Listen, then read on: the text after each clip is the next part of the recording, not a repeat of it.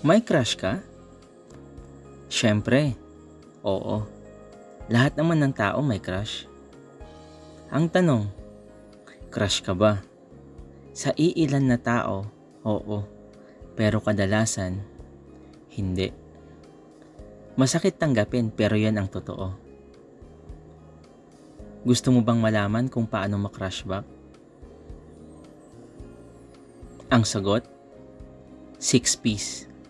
6 piece lang ang katapat para makrush back ni crush. Unang P. Proper hygiene. Maligo ka. Dapat malinis ka sa katawan mo. In short, mabango ka. Dahil lahat ng tao gusto sa mabango. Para pag dumaan si crush, ay mapapansin ka niya at baka sundan ka pa dahil sa amoy mo. Pangalawang P. Proper grooming.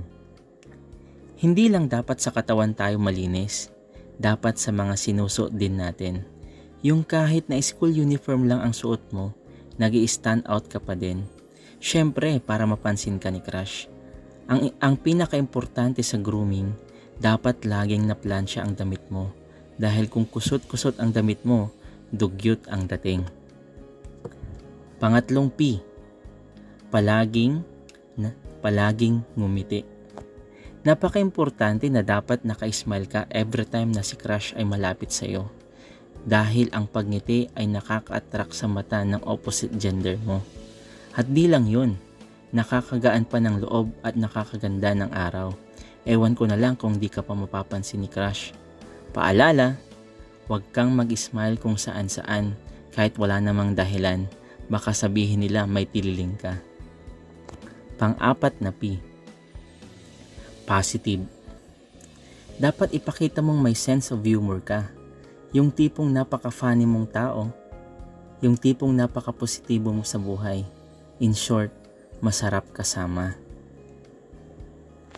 Panglimang P. Pakitang gilas ka. Maging maaral ka.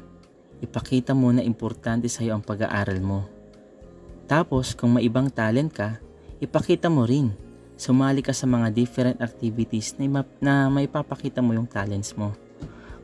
Kung marunong kang kumanta, edi sumali ka sa singing contest. Kung magaling kang sumayaw, edi sumali ka sa cheer dance o sa mga dance competition.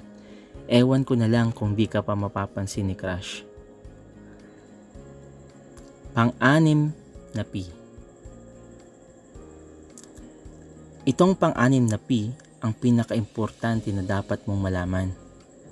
Handa ka na ba? Seryoso? Oh, ito na.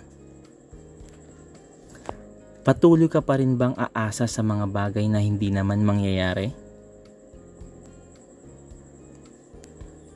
Puro ka crush, mag-aral ka muna.